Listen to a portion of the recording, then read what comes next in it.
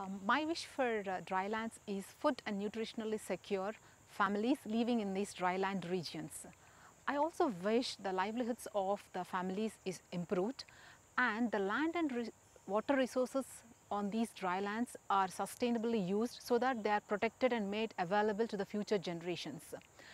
Yes, this is possible and this is possible through innovations, the demand driven innovations.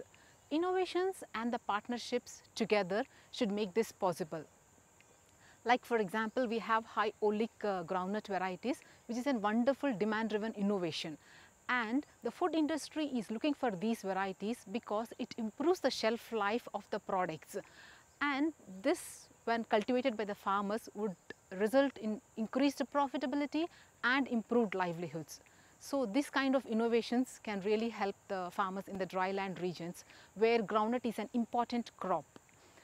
It's a legume and it uh, very useful to enhance the sustainability of the soils and also the nutritional security of the families.